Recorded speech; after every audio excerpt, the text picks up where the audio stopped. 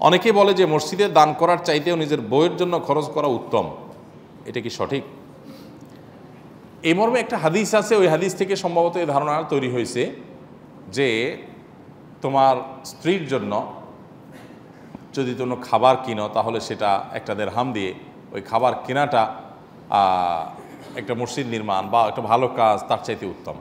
এটা তখন হবে যদি স্ত্রীর খাবার না থাকে এবং তার ভরণ পোষণ দেওয়াটা এই মুহূর্তে ফরজ পর্যায়ে হয়ে যায়।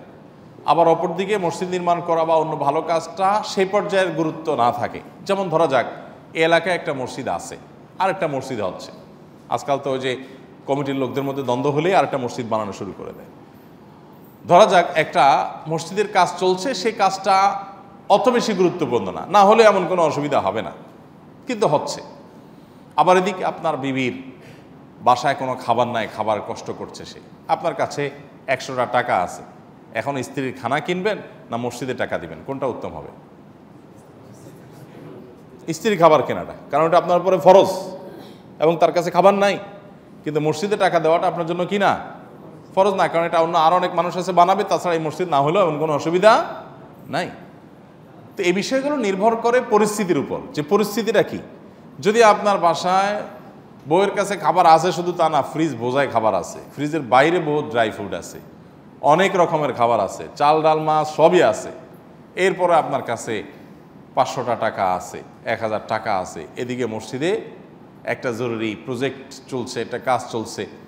এখন এই টাইমে যদি আপনি হাদিস বানান যে, ঠিক আছে বইয়ের তো অনেক পদের আইসক্রিম আছে বাট ওই আইসক্রিমটা নাই। তাহলে আমি এই মুহূর্তে বইয়ের জন্য আইসক্রিম কিনাটা মসজিদে টাকা দেওয়ার চাইতে বেশি সব হবে। বলেন সোবাহান আল্লাহ বলে আইসক্রিম কিনে বাড়িতে চলে গেলেন। তাহলে সেটা কি হবে না, সঠিক হবে? কারণ সেটা তো আপনার চালাকি। সেটা তো শরীয়তের যে আপনার মাকসাদ, সেটা না বুঝার সামিল। বিধায় এটা করা যাবে না। আপনাকে স্ত্রীর ভরণ পোষণ দেওয়াটা যদি আবশ্যকীয়তার পর্যায়ে পৌঁছে যে এখন না দিলে স্ত্রী না খেয়ে মারা যাবে বা না খেয়ে কষ্ট করবে তাহলে তখন ওটা আপনার জন্য বেশি উত্তম, অন্য যে কোনো খাতে দান করার চাই। কথা কি বুঝাতে পারছি? কিন্তু স্ত্রীর আলহামদুলিল্লাহ মোটামুটি যা আছে সেটা আছে, এখন মসজিদের দরকার।